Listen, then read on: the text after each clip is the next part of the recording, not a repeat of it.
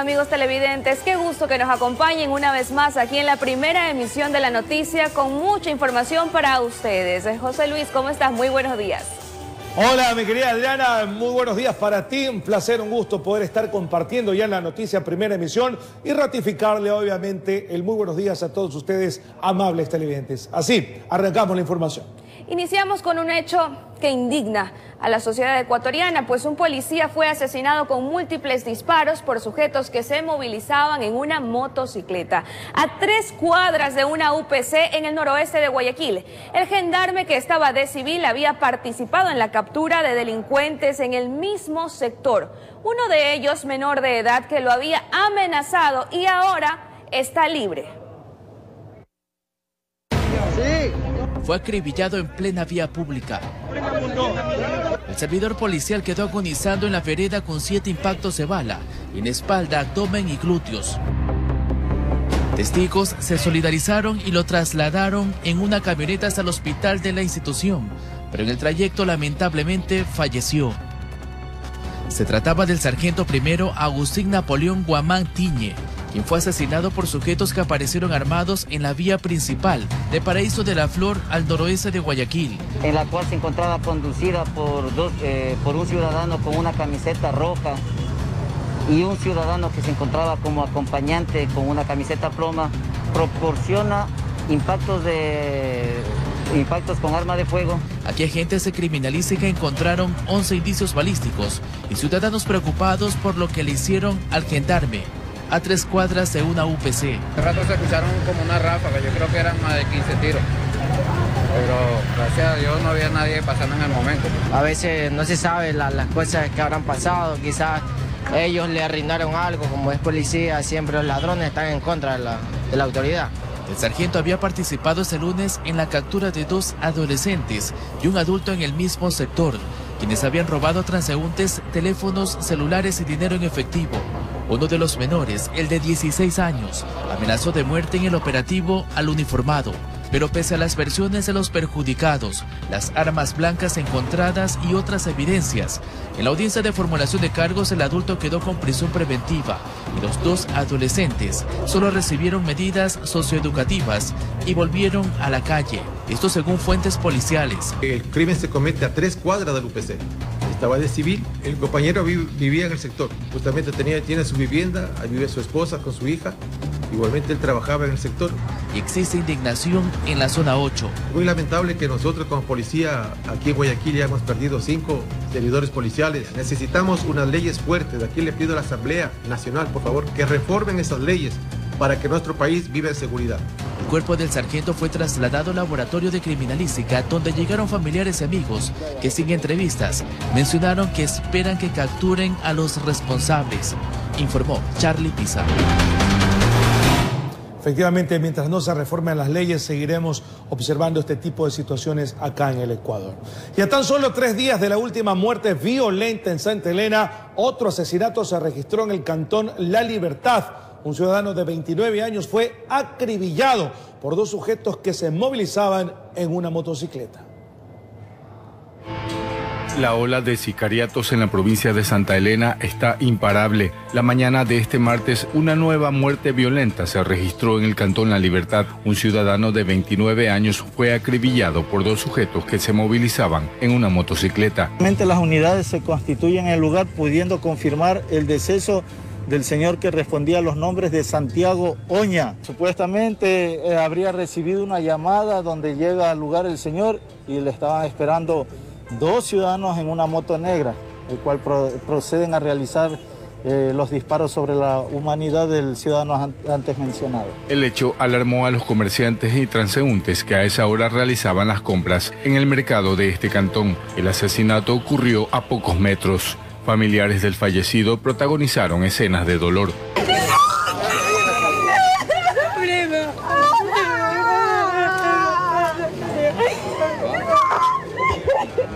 Verificando en el sistema se pudo constatar que registra una detención 2017 por robo y un proceso judicial 2019 por asesinato. La policía investiga este nuevo hecho de sangre que mantiene preocupada a la ciudadanía, la misma que exige a las autoridades mayor seguridad. Sería necesario que las Fuerzas Armadas salgan a las calles. Tienen que salir a, dar rondas y, y requisar a las personas que se encuentran, que se les ven en malas situaciones. Desde la provincia de Santa Elena informó Darwin Villao. Mientras que en otra parte del país delincuentes asaltaron una agencia financiera, ocurrió en el cantón El Carmen en la provincia de Manabí. Los zampones rompieron el vidrio de la ventanilla con un combo y se llevaron el dinero en medio de los gritos de la cajera. Este hecho fue captado por cámaras de seguridad. Vamos a ver entonces. A media tarde en la oficina se observa a varios clientes. De pronto uno de ellos saca de la mochila un combo y golpea el vidrio que sirve de barrera entre las personas y la cajera. Por la fuerza del golpe, este explota. El delincuente no duda en ingresar en busca del dinero mientras la recaudadora grita desesperadamente. Los clientes que estaban a esa hora de la tarde salen desesperados. No es para menos por la violencia con la que actúa el sujeto quien cubre su rostro con una gorra y mascarilla. El robo dura menos de un minuto, mientras en la parte exterior le espera un motorizado a quien le pide ayuda.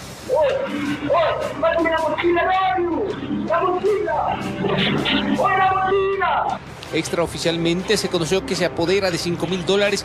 El dinero lo guarda en una mochila con la que salta la barrera. A prisa se sube la motocicleta y salen de la escena cómplice y autor del espectacular pero terrorífico robo como sacado del guion de una película de acción. A pesar que está cubierto el rostro con mascarilla y lleva una gorra, unidades especiales de la policía trabajan en la ubicación del autor material del robo y el conductor de la motocicleta. Informó Iván Casamen. Qué indignación. Y la delincuencia continúa imparable en la ciudad de Guayaquil. Dos antisociales armados asaltaron a varias personas que se encontraban en un comedor. Está ubicado en el norte de la ciudad. El robo fue captado por cámaras de seguridad. El asalto fue protagonizado por estos dos sujetos. Las imágenes muestran que antes de embestir a sus víctimas, los malhechores estudian el lugar Luego dan el golpe. Yo pensé que era algún cliente, yo le iba a preguntar, ¿desea almuerzo? Pero yo ya me paré y le vi que le dijo una grosería a los señores que estaban comiendo aquí. Entonces lo único que escuché que le dijo, dame, dame los teléfonos. Y yo me di cuenta y al momento sacó el revólver. El que sacó el arma fue uno y el otro, como siempre, aparentó y es el que da apoyo para desvalijar a todos los lo que estaban comiendo. Ocurrió el mediodía de este lunes en la ciudadela Adesdac, atrás de Samanes 7, norte de Guayaquil. Este sería el tercer robo en lo que va del presente año. A un hermano aquí mismo se parqueó una camioneta y le robaron la camioneta. A uno de los chicos que trabajan con nosotros, así cuando ya cerramos, eso de las 5 de la tarde, la asaltaron ahí en la esquina. Según los afectados, los delincuentes son del sector de la Juan Montalvo. Son los mismos sujetos. Son los mismos sujetos. Exigen más control por parte de la Policía Nacional, informó Jorge Salazar. Además, detienen a un hombre acusado de intentar robar en un local comercial en el centro de Guayaquil. La policía encontró un arma en manos de este sospechoso. El hecho se produjo en el distrito 9 de octubre, centro de Guayaquil. Un sujeto en motocicleta merodeaba por distintos lugares de la zona. Esto hizo que la policía esté atenta. De ahí los resultados. Un ciudadano que pululaba en una moto color roja, el mismo que eh, se supondría que minutos antes pues habría intentado realizar un asalto eh, y robo a mano armada en el sector. El personal policial al percatarse de sus eh, pretensiones de este sospechoso, pues inicia eh, la, acción de persecución. En su poder se encontró evidencia la cual hace vincular al detenido con demás actos ilícitos. El sujeto tiene 26 años de edad y ya presenta antecedentes. Eh, la moto del presunto sospechoso pues derrapa producto de un impacto con el patrullero y lógicamente pues inmediatamente pues la persecución se inicia a pie, a carrera. Dando eh, con la captura del antisocial o del presunto antisocial en las calles Machala entre Aguirre y Clemente Valle. Fue trasladado hasta la fiscalía para profundizar investigaciones. Eh, se tiene un detenido, un arma de fuego tipo revólver de fabricación nacional, dos cartuchos y la motocicleta. Así también es necesario resaltar que el ciudadano hoy detenido pues presenta antecedentes por robo en el año 2018. Es un ciudadano de nacionalidad ecuatoriana. Informó Julio César Saona. Muy bien, son las 7 y 11 de la mañana. Es momento de hacer una breve pausa, pero al volver seguimos con más información aquí en la noticia Primera Emisión. Sigue la pantalla de RTS. Ya estamos de regreso para seguir informando. Gracias por permanecer en nuestra sintonía. Claro que sí, ahora les informamos que algunos sectores insisten en la necesidad de un subsidio focalizado a los combustibles mientras que la vacunación a las comunidades y nacionalidades se convierten en una prioridad. Estas fueron partes de las propuestas presentadas por indígenas evangélicos al presidente. La segunda actividad presidencial de este martes fue en el Salón de Banquetes del Palacio de Carondelet, donde el presidente Guillermo Lazo mantuvo una reunión con representantes de la Federación Ecuatoriana de Indígenas Evangélicos FEINE, a la que acudió además el secretario del ramo Luis Pachala. Aquí presentaron sus propuestas al jefe de Estado. La catalogaron como una reunión fructífera. El tema de la vacunación en todos los territorios de pueblos y nacionalidades y comunidades indígenas en coordinación con las organizaciones indígenas. Otra de las aristas fue el crédito del 1% para 30 años, a través de cooperativas indígenas de ahorro y crédito. Se abordó además la alimentación a los sectores más vulnerables a través de kits alimenticios. Y la gran interrogante, los combustibles. Ellos tienen sus planteamientos. Hemos hablado del tema de combustible que se focalice o que focalicemos a nivel de todo, de toda la gente que son muy ricos en el Ecuador, que ellos no merecen tema del subsidio. Y para ello solicitan mesas de trabajo. Unas mesas técnicas para buscar una focalización, se viabilice en este caso un subsidio para los sectores indígenas, campesinos y en el ámbito del transporte. Desde la dirigencia se llamó a un diálogo con el resto de organizaciones, entre ellos la CONAIE, en la búsqueda de acuerdos con el nuevo gobierno. Informó Marilyn Jaramillo. Organizaciones sociales convocaron a una movilización para este jueves. Ellos solicitan al presidente Guillermo Lazo la eliminación de los decretos que generaron el alza del precio del combustible. Organizaciones sociales convocan a una movilización para este jueves 10 de junio. El principal pedido al presidente Guillermo Lazo es el siguiente. Derogar los decretos presidenciales emitidos en el tiempo del señor eh, expresidente de la República, el señor Moreno, que establecieron el incremento en el precio de los combustibles así como también el incremento del precio de los pasajes. Razón por la cual el dirigente indígena Leonidas Isa también ha anunciado movilizaciones en la provincia de Cotopaxi para este viernes. Por el tema de combustibles y por el tema de créditos. Algo que también se rechaza es que Jorge Madera asuma la presidencia del Consejo Directivo del Instituto Ecuatoriano de Seguridad Social, pues hasta el momento la Superintendencia de Bancos calificó su habilidad para poder ejercer el cargo, pues este es un paso previo para que el mandatario pueda emitir un decreto y nombrarlo. Es hora que el Instituto Ecuatoriano de Seguridad Social sea dirigido por los auténticos dueños, como son los trabajadores, los jubilados y los pensionistas. El sector estudiantil, por su parte, solicita lo siguiente. Estudiantes universitarios, hacemos un llamado a que el gobierno de Guillermo Lazo devuelva el presupuesto de las instituciones de educación superior. Son tres años en los cuales se ha reducido más de 350 millones de dólares a las instituciones de educación superior en el país y ha afectado en su funcionamiento y en el normal desarrollo de las actividades. Los dirigentes indican que han intentado encontrar un canal de diálogo con el mandatario Lazo, pero que hasta el momento no lo han conseguido, informó Valeria Navarro. Y la jueza de lo penal, Verónica Medina, niega vicios de nulidad en la audiencia de evaluación y preparatoria a juicio por el presunto delito de delincuencia organizada contra el expresidente Abdalá Bucaram, su hijo y cinco personas más. Bucaram estuvo presente en dicha diligencia. Veamos. Rodeado por sus abogados y simpatizantes estuvo el expresidente Abdalá Bucarán en el complejo judicial norte de Quito, en donde luego de varios diferimientos se instaló la audiencia de evaluación y preparatoria a juicio por el presunto delito de delincuencia organizada. Es un caso de delincuencia organizada que es gracioso, porque sucede que ninguno de los que están acusados nos conoce y declaran que no, no saben quiénes somos, que nunca han tenido ningún acercamiento con nosotros, pero estamos denunciados. Bucarán, su hijo Jacobo, el ex agente de la Agencia Metropolitana de Tránsito de la capital Leandro B., además de Brian P., Verónica A., Isabel M., y el israelí Seyman Oren, son procesados por presunta actividad delictiva durante la emergencia sanitaria entre marzo y octubre del 2020 por la comercialización de pruebas para detrás de admitir el delito y someterse al procedimiento abreviado. Sobre Bucarán pesan dos procesos más por tráfico de armas y piezas culturales. La audiencia de evaluación y preparatoria a juicio se reinstalará el próximo sábado, informó Héctor Romero. En otro tema, el Cabildo porteño ejecuta su programa denominado Guayaquil Biosegura, en el que entrena a propietarios de establecimientos y a los ciudadanos para evitar la propagación del COVID-19 al momento de adquirir un bien o servicio.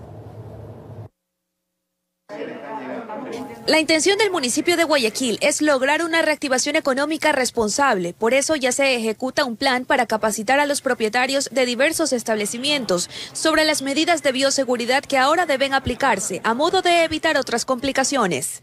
¿Cómo la reactivamos? El municipio de Guayaquil paga la capacitación de alrededor de 3.000 locales, de los cuales 294 ya tienen el sello de bioseguridad, que es este, y 2.000 273 ya están capacitándose adicionalmente. La Dirección de Salud del Cabildo Porteño forma parte del proyecto que no solo se dirige a restaurantes, sino que son 12 líneas de negocios.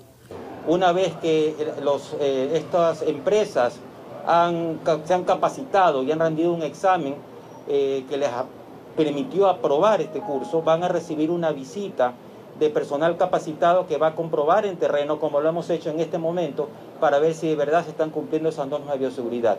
Entonces recuerde que cada vez que ingrese a un local que tenga este sello, representa menor riesgo de contagio de COVID-19. Si tienen este sello, entrarán a un lugar donde ni siquiera tocarán su tarjeta de crédito porque tienen que ponerla, donde tendrán que tener la mascarilla el mayor tiempo posible, salvo para comer donde tendrán adicionalmente el espacio entre mesa y mesa. Los baños estarán perfectamente desinfectados después de que entra cada persona. Informó Adriana Peralta. Muy bien, estamos de vuelta, amables televidentes. Muchísimas gracias por seguir en sintonía 731 y seguimos con más información. Por supuesto, una mujer denunció haber sido agredida con un machete y un cuchillo por su expareja. Esto lo desarrollaremos más adelante. Por ahora vamos a hacer un enlace en vivo con nuestro compañero Jorge Salazar. ¿Dónde te encuentras? Coméntanos, por favor. Adelante. Jorge, buenos días. ¿Qué tal Adriana, José Luis, queridos amigos? Buenos días. Tranquila que por acá también hay heridos. Les comento que varias personas recibieron disparos de armas de fuego en dos cantones de la provincia de Guayas, entre ellos Durán. Estoy ubicado justamente en el sector donde se produjo este ataque a mano armada, en el que entre los heridos existe un menor de edad. A continuación vamos a observar la nota en la que se detalla más detalles, más datos sobre este episodio. Dos jóvenes que se encontraban dentro de este inmueble, donde aparentemente se consumía drogas, fueron heridos de bala por un tercer individuo que permanecía en el sitio. Las personas parece que se encontraban consumiendo sustancias sujetas a fiscalización y parece que ha habido ahí una gresca, momentos en cuales han, activado un arma de fuego. Una de ellas se encuentra con una herida a la altura del hombro la otra persona es un menor de edad que se encuentra con un disparo a la altura de la columna. Ocurrió en el sector de la Liga Cantonal, en Durán.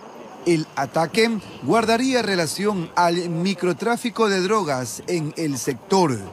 Los afectados permanecen asilados en un hospital de Guayaquil. En tanto, En el Cantón Milagro, un hombre identificado como Giovanni Barreto Catute, de 30 años, recibió un disparo mientras conversaba con amigos. Porque yo estoy ahí, créame, ni tres metros y escucho parecía un cohete, pero ha sido una sola bala. El ataque protagonizado por dos sujetos en un auto se produjo en el norte de Milagro a pocos metros del domicilio de la víctima. El vecino jamás ha tenido problema con la ley, fumó un triquero, nada de eso. El herido permanece fuera de peligro en una casa asistencial.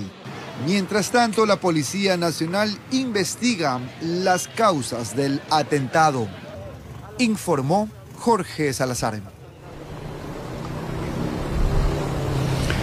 Como decía al inicio, Estoy ubicado en el sector de la Liga Cantonal, en Durán, provincia de Guayas, donde se produjo uno de estos sucesos. A mis espaldas, el domicilio donde fueron heridos dos jóvenes. Uno de ellos de 22 años, identificado como Daniel H. Y un menor de 16 años, eh, conocido como Julio M. Estoy dando la inicial del apellido para evitar represalias. Eh, atentados eh, posteriores. ¿Qué sucedió acá? He conversado con personal de la Policía Nacional y se me ha manifestado que esto obedece a la problemática de, de hace mucho tiempo en el cantón, la disputa de territorio para la venta de drogas entre la organización denominada The Chone Killers y los Latin King, quienes desde hace varios años se pelean el territorio para expender esta sustancia denominada como la diosa blanca, H, cocaína, heroína, marihuana, plo, plo, creepy, tirada para atrás y demás nombres que le han puesto a estas sustancias que están acabando con nuestra juventud. Aparentemente, el gatillero, la persona que realiza los disparos y hiere a estos dos jóvenes, se encontraba con ellos consumiendo estas sustancias y les solicitó que se cambien de banda. Ellos pertenecerían a la banda de los Latin King y les estaba pidiendo que por favor pertenezcan a los de Chone Killer, que acá la paga sería mejor. Los jóvenes se rehusaron y fue en ese momento donde procedió a realizarle varios disparos. La persona responsable que habría herido a estos dos jóvenes ya está identificada, la policía le pisa los talones, se trata del negro Alan. El negro Alan sería quien disparó a estos dos jóvenes mientras junto con ellos consumían sustancias psicotrópicas dentro de este domicilio. Tenemos importante información, asimismo me han informado que la tan eh, anhelada, esperada unidad policial en el Cerro de las Cabras, sector conflictivo de Durán, al fin está lista será inaugurada con sus respectivos agentes policiales para evitar que este sitio donde se dice por allí, incluso existiría una escuela de sicarios, ya se ha intervenido por la policía, se ponga orden y evitar este tema del tráfico de drogas, del sicariato, que las represalias, que las amenazas y demás situaciones. Me despido, querido José Luis, Adrianita y queridos amigos, buenos días. Muy buenos días, Jorge. Lo que sí es tangible y de lo que recogemos de tu información es que sigue la zozobra, sigue la delincuencia, sigue el asesinato y la tierra de nadie en el Cantón Durán. Lastimosamente es así. Más adelante estaremos contigo si así la ocasión lo amerita, mi querido Jorge, porque nosotros acá vamos con más información. Gracias por tu reporte. Y como lo habíamos anunciado, una mujer denunció haber sido agredida con un machete y un cuchillo por su expareja en el Cantón Lago Agrio, provincia de Sucumbíos. Ciudadana pide a las autoridades dar con el paradero del presunto atacante, pues teme por su seguridad y la de su familia. Negarse a regresar con su expareja sentimental habría sido el motivo por el cual Fabián C. con engaños llevó a su ex conviviente a una casa abandonada en donde aprovechó la oscuridad de la madrugada para con machete y cuchillo en mano agredirla y pretender quitarle la vida. Me pegó, me, sacó un machete, me pegó aquí en la mano. Con un cuchillo me picó por acá, por el cuello, me llevó arrastrada a un, a un no sé, bueno, eso era un monte. Luego de forcejeos y a pesar de las heridas, en un descuido del agresor, Joana logró escapar antes de que el sujeto lograra cumplir con su cometido. Mientras él procedía a lavarse las manos, la mujer salió corriendo hasta la vía en donde un buen samaritano que pasaba en su motocicleta la salvó de este acto criminal y la llevó hacia el hospital. Le dije, Fabián, hazlo por nuestros hijos. Déjame que yo vaya al hospital para curarme las heridas, que estaba desangrando. Entonces me dijo que no, que él no me iba a dejar, que ya él tenía todo arreglado ahí para matarme. Y si yo estoy aquí contándole es porque pude escaparme. Al momento la denuncia ya se encuentra en fiscalía para que se realicen las investigaciones y se dé con el paradero del agresor. Desde Lago Agrio informó Emilio Albán Sánchez. Terrible. Y ahora queremos informarles que dos vehículos colisionaron la noche del día martes en el centro de la ciudad de Guayaquil. Al parecer, uno de los automotores estuvo con problemas y se pasó la luz roja. Veamos.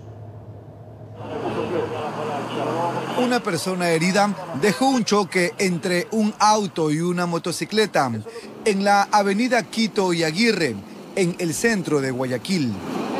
La persona afectada se movilizaba como acompañante en la moto, cuyo conductor no logró evitar el impacto con el carro, por lo que fueron golpeados y cayeron al pavimento. Según los moradores, dice que uno de los dos ha irrespetado lo que es el semáforo y la luz roja. Paramédicos del cuerpo de bomberos auxiliaron a la persona herida y la trasladaron al hospital más cercano. Se mueve, habla ella, está consciente. En tanto, los conductores de los dos vehículos fueron retenidos y llevados a la Fiscalía de Tránsito. Visiblemente no presentan ingesta de alcohol de algún tipo. Todos están conscientes. Se investigan cuál de los conductores habría respetado las señales de tránsito. Informó Jorge Salazar. Y equipos de rescate en aguas rápidas eh, de los cuerpos de bomberos de Arajuno, Mera y Shell rescataron a 16 personas que habían quedado atrapadas por las crecientes de los ríos Guapuno y Pindo Grande en Pastaza. Del mismo modo, tres personas fueron rescatadas de un islote que se formó por la crecida del río Upano en Morona, Santiago. En Arajuno, cantón del norte de Pastaza, 14 personas vivieron el susto de sus vidas en la mañana fueron a cosechar sus cultivos que están al otro lado del río Guapuno y se quedaron atrapadas luego que por las incesantes lluvias caídas en las últimas horas, el nivel del caudal creció de manera extraordinaria que adquirió una gran fuerza que era imposible cruzarlo caminando como en condiciones normales acostumbran hacerlo. Habían como cuatro niños y encima más habían dos señoras con con bebés tiernos. El nivel de riesgo de la operación fue alto. El peligro para realizar el rescate era inminente y quienes participaron en la operación debieron extremar los cuidados para evitar un percance que podía ser fatal. Siempre se vuelve peligroso por la situación de que arrastra palos eh, en el lugar. Bueno, eh, es peligroso.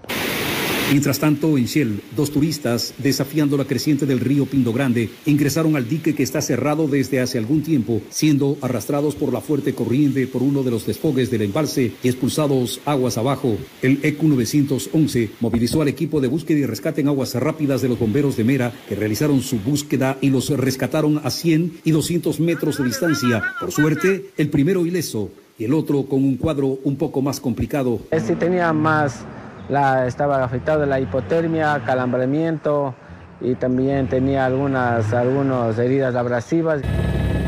En Morona, Santiago, en el cantón Logroño, un helicóptero de aeropolicial que se trasladó desde su base en Ciel Pastaza realizó el rescate de tres personas y un can que quedaron atrapadas en un islote. Fueron sorprendidos por la repentina creciente del río Upano, producto del invierno que impera en la región. Se pudo aterrizar en ese islote y se sacó con sobre todo se precauteló la salud y la vida de las personas. En 2021, la temporada invernal no da tregua en el centro amazónico. Las lluvias continúan y sus secuelas se multiplican, informó Edwin Fernández. Y ahora nos vamos hasta la sierra, específicamente donde el índice de contagios de COVID-19 disminuyó en la capital de todos los ecuatorianos. Sin embargo, aún se requieren de camas en unidades de cuidados intensivos para atender a pacientes con el coronavirus. Veamos.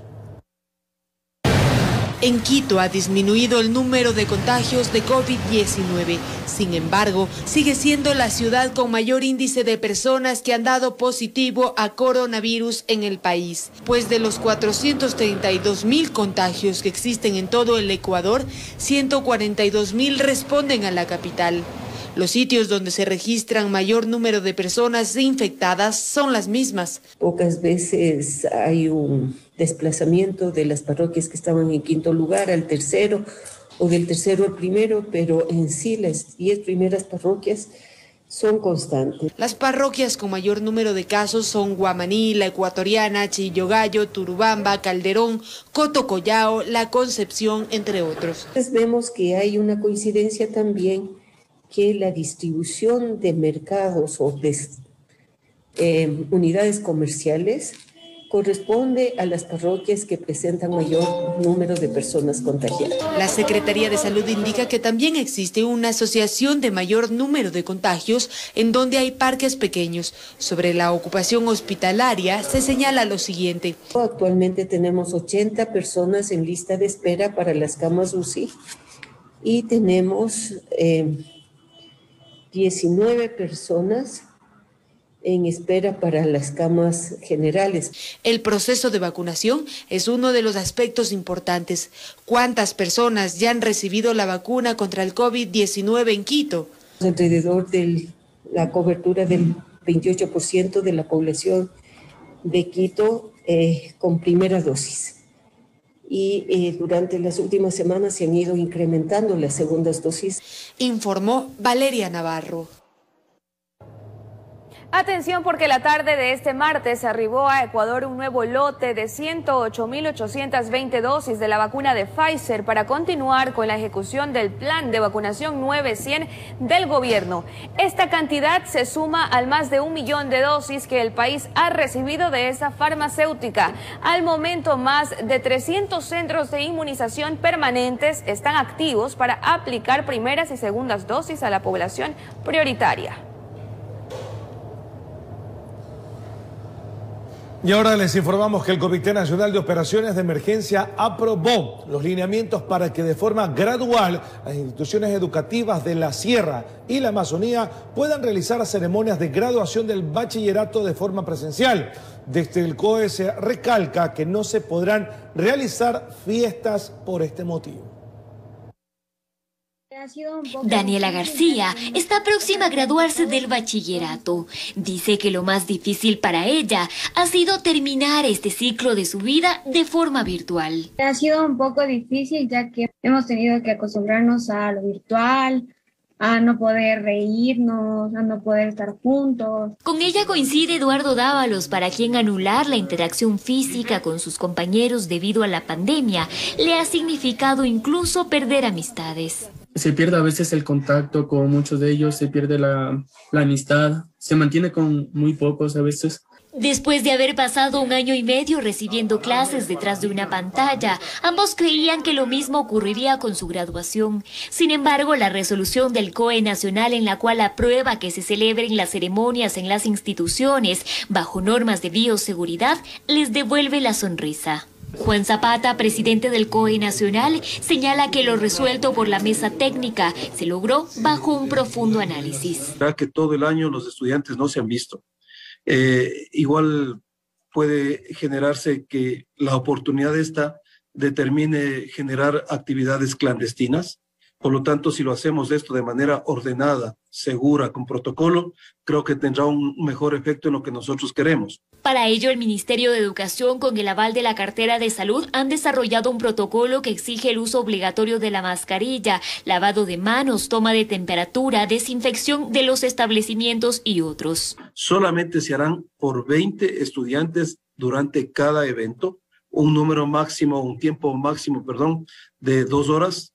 Y también eh, se recibe solamente dos familiares por estudiante que en lo posible se generen en espacios abiertos. Zapata aclara que esto no significa que después de las ceremonias institucionales se puedan realizar fiestas. En ningún momento quiere decir que esto origine a un evento social eh, a lo mejor organizado por ninguna institución. No, solamente es este evento. Finalmente resalta que la graduación presencial es voluntaria. En Quito informó Adriana Rojas. La leche que usted estaría comprando puede que no sea pura. Ganaderos denuncian la práctica deshonesta de ciertas industrias que estarían mezclando este producto con suero de leche para abaratar costos y a su vez engañar al consumidor. Ahí es donde viene el daño a la población. No estaremos recibiendo los nutrientes que creemos. Pero las autoridades ya han sancionado a varios que se justifican. Más detalles hoy. En su informativo, la noticia emisión estelar pareja de sudafricanos. Y con esto nos estamos viendo. Así es. Aquí nos despedimos, pero enseguida la noticia en la comunidad. Que tengan un excelente día. Excelente. Todo para ustedes. Oye, con 12 hijos.